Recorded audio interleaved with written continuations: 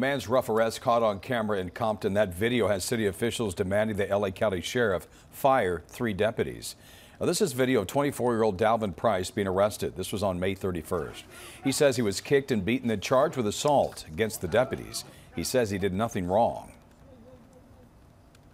I don't have idea why they were after me or why the incident occurred.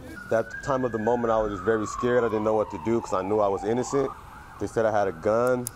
They said numerous things, which I know I am innocent. As soon as the deputy used force, they reported it to their supervisor right there on the spot, which is very important.